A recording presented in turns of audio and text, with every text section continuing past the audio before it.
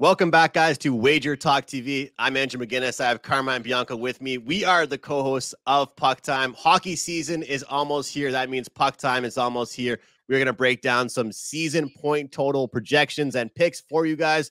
Today, we have the New York Rangers. We are breaking down. Before I jump into that, though, I do want to let you guys know you can grab both Carmine and I at our individual pages $599 for our full season.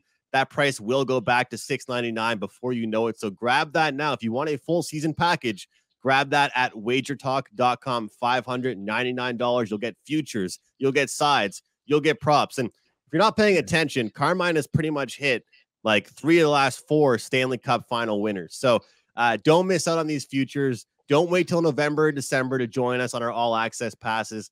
Grab it right now, wagertalk.com.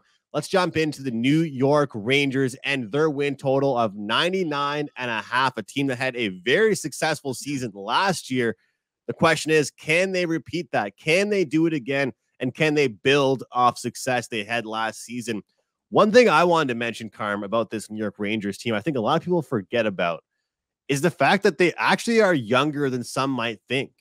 You know, with guys like Kaapo Kakko, Alexis Lafreniere, you know, you look across the list, Sammy Blais, um, you know, even Artemi Panarin isn't that old. You know, he still has a lot of time of uh, being the superstar player he is.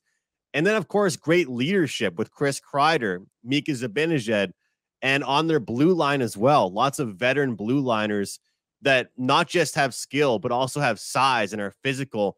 This is a very well built team. When I look at the New York Rangers, and then, of course, we had to talk about it Igor Shesterkin. A guy just continues to steal the show. He keeps this Rangers team in lots of games, makes a lot of big, big saves for them. Maybe a little bit too many. You know, I did say last year quite a bit of times that he was bailing them out more than some people might have thought. But picking up uh, Vincent Trocheck, you know, going to be the second line centerman for them, I thought was a huge addition for that team. I feel like the Rangers are very well rounded this year. And this number is well below what we saw them finish at last year with 110 points. So I'm high on the Rangers this year. I think they're very well rounded lines one through four, and uh, they have a solid defensive core as well. So they did struggle to score a little bit last year, which is kind of surprising.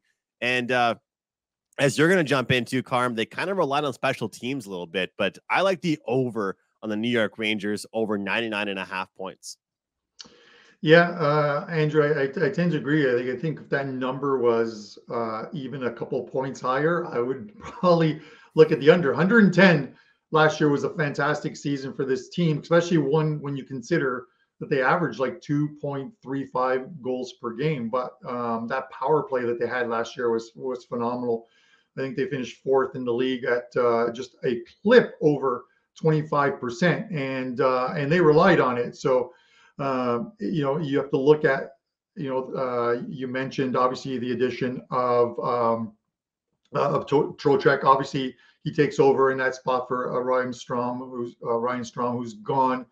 But um, goal goaltending is going to be Shesterkin. But are you going to? It's an 82 game season for Shesterkin. They've got 16 this year. Throughout the year, they got 16 back to backs. You're not going to see him likely uh, in a majority of those back to backs. So now you go to your backup goalie, and obviously Georgiev is gone. So you, you either have Halak or uh, Louis Domingue in goal.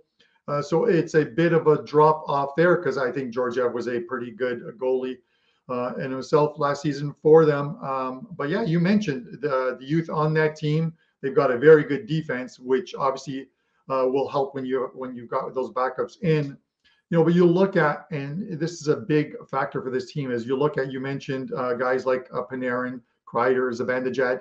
Each one of those guys had their best year um, uh, as NHL players mm-hmm. last season. Um, can they replicate that? They might have to if you're if you're betting over that 99 and a half, you're going to have great seasons from them. You're you're going to need to score some goals. They're going to have to do much better than that 2.35 goals uh, goals per game average than they did last year, and that's even with Shesterkin in goal because otherwise you're going to be on the wrong end of some one goal games. Uh, they're going to win a lot of those two one games, but um, they're not going to win a lot of those 5 3 or 5 4 games. That's not the type of Rangers team, anyways. But uh, I like the over 99 and a half. I think they have they're, they're going to take the next step forward. The next step forward is being in that cup final and representing the East. Uh, they were close to it last year. 110 points is going to be tough to replicate, but I think uh, they get uh, they get over that 99 and a half this season. It is a high number, and like you said, Shesterkin is great, but they can't rely on him to do everything for them. They had to put some goals up, and I feel like they do have the depth to do it. Will they be able to do that? Asking three guys to do a lot of the scoring is just not really a recipe for success. New York Rangers, not really our best bet here, but over 99 and a half. Carmine and I like that one. Going to be a great season for the Rangers.